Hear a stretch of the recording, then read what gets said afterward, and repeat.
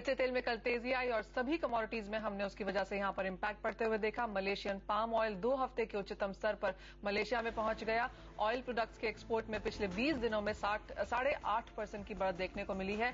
आज अगर Indian markets की बात करें तो यहाँ पर भी अक्रॉस द बोर्ड हमने बढ़त आते हुए देखी है। क्रूड पाम ऑयल में, सरसों में, सोयाबीन में सभी जगह यहाँ पर हल्की सी बढ़त ही देखने को मिली है। किस तरह का रुझान यहाँ से आगे रह सकता है, जानते हैं शक्ति इंटरनेशनल के श्रीनिवास श्रीगिरी से।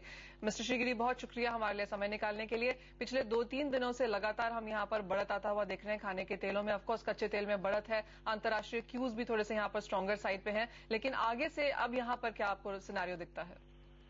धन्यवाद जी। देखिए अभी फ़िलहाल जो भी मार्केट 2,800 रिंगेट्स के नीचे गए हुए थे वो आ, मेरे ख्याल में मुनासिब नहीं थे। एक तरह का डर के वजह से जो भी है काफ़ी मार्केट नीचे गया था। और ग्रेजुअली अभी हम देख रहे हैं कि मार्केट्स में स्ट्रेंथ आ रही है बायर्स भी हर जगह से आ रहे हैं, और इस हिसाब से आहिस्ता आहिस्ता मार्केट बढ़ना चाहिए।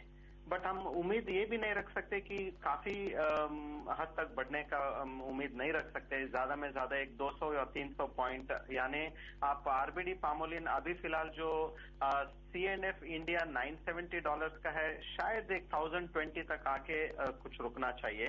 और बहुत बढ़ने का तो उम्मीद नहीं है लोकल मार्केट्स में बट टेम्पररीली लोकल मार्केट्स में जो भी माल लिया हुआ है, उन्होंने सब 1200 के आसपास का खरीदी किया हुआ है, इसलिए ज़्यादा करके कोई उतना ज़ोर हिसाब से बेचेंगे नहीं और यहाँ पे आप, भाव बहुत कम होने का संभावना नहीं दिखाई देंगे।